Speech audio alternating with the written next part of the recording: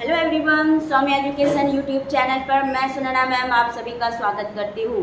चलिए स्टूडेंट आज हम लोग जो है सिक्स टू एट के सिलेबस को जानेंगे और आज सबसे बड़ी विशेष बात है कि आज का जो है लेटेस्ट अपडेट भी हम लोग जान ले कि आज का लेटेस्ट अपडेट है क्या।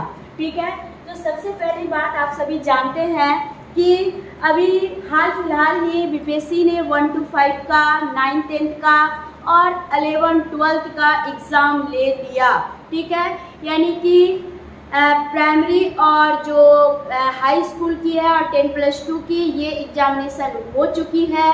और अब जो लेटेस्ट अपडेट क्या है सिक्स टू एट की एग्जामिनेशन होने वाली है, ठीक है? तो बीपीएससी के द्वारा जो है, बिहार शिक्षक परीक्षा के दूसरे चरण में जो है एक लाख से भी अधिक पदों पर क्या होगी? वैकेंसी आने वाली है। इस पे जो है, बहुत सारे अभ्यर्थियों का जो है, नियुक्ति होने वाला है। और ये नियुक्ति जो है, आपका दिसंबर से जनवरी माह में दे दिया जाएगा।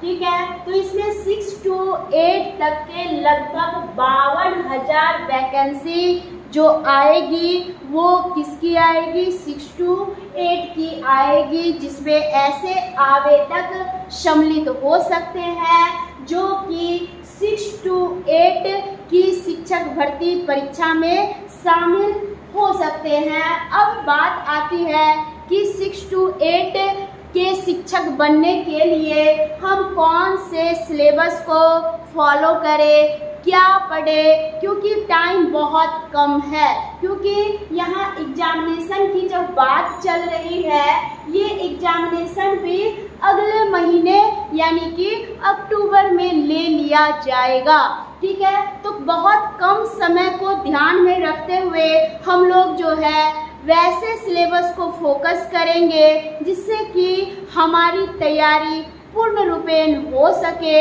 और हमें लक्ष्य की प्राप्ति मिल सके।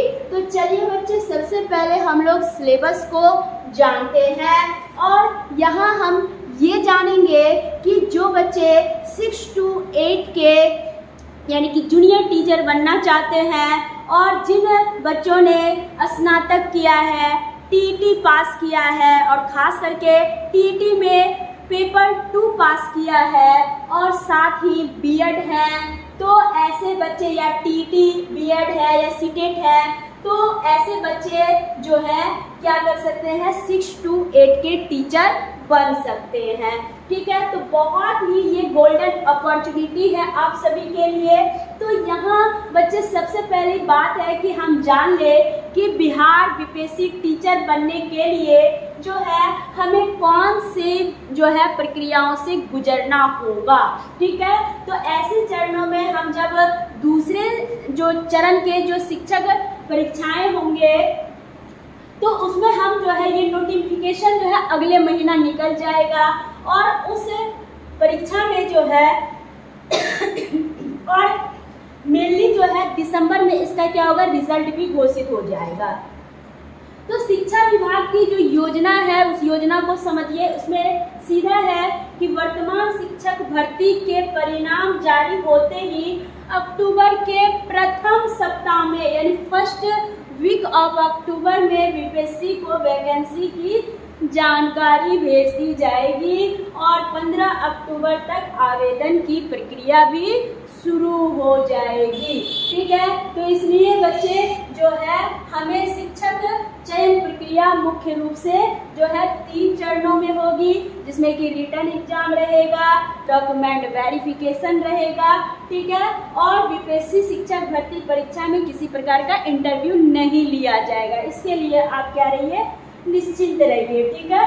चलिए, आगे बढ़ते हैं। अब यहाँ पर देखेंगे कि आप सभी के मन में होगा कि बीपीएससी जूनियर परीक्षा जो हो रहा है, यानी कि सिक्स टू एट की जो परीक्षा हो रही है तो वो कितने अंकों का होगा? तो इतना आपको समझना होगा कि सिक्स टू एट की जो, यानी दूसरे शिक्षक भर्ती चरण की जो परीक्षा होगी, वो ढाई सौ अंक की होगी जी। ठीक है? चलिए, अब है कि इसमें हम क्या देखेंगे कि पेपर वन और पेपर टू होगा।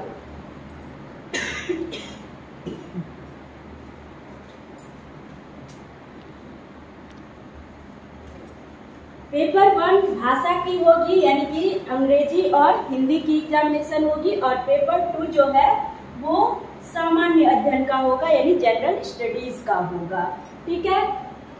तो इस तरह से आपको क्या करना है, तैयारी कर लेना है। ठीक है? तो ये एग्ज़ाम जो है, वो किसके द्वारा होगी?